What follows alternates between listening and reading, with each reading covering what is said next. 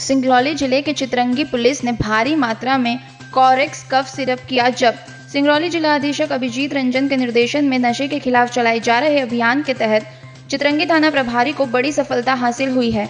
जब नशे के प्रयोग हेतु कॉरेक्स कफ सिरप भारी मात्रा में जब्त कर कार्यवाही की गई, बताया जा रहा है कि मुखबिर की सूचना पर चितरंगी थाना प्रभारी ने दल बल के साथ ग्राम बड़कुल पीपरवान निवासी आरोपी लोकनाथ द्विवेदी, जय श्री राम द्विवेदी के कब्जे से एक बैग में रखी हुई नशे के लिए प्रयोग हेतु बिंद्रेक्स कफ सिरप 123 नग बरामद किया है, जिसको जब्त करते हुए आरोपियों के खिलाफ उक्त अपराध के तहत मामला दर्ज कार्यवाही की गई है।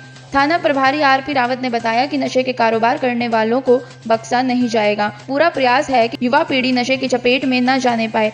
वही अभियान चलाकर अवैध कारोबार को संलिप्त आरोपियों के खिलाफ लगातार कार्यवाही की जाएगी। उक्त कार्यवाही में चित्रंगी थाना प्रभारी आरपी रावत उप निरीक्षक प्रधान आरक्षक सहित गठित पुलिस टीम का सराहनीय योगदान रहा।